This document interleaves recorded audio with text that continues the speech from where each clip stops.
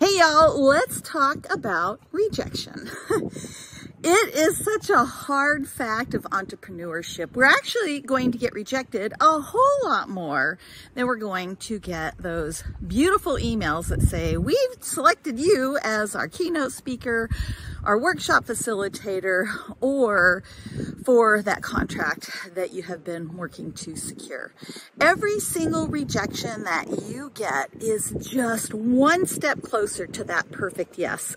I know it can be really hard when you really, really want that engagement to remember that we are all going to get many, many rejection letters and emails and conversations throughout our entrepreneurial journey, way more than we do in corporate. And I think those of us who grew up in corporate, that makes it especially hard.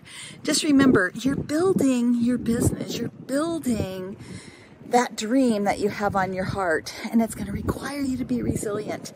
So when you get those rejections, celebrate because it just means that you are one step closer to your perfect yes.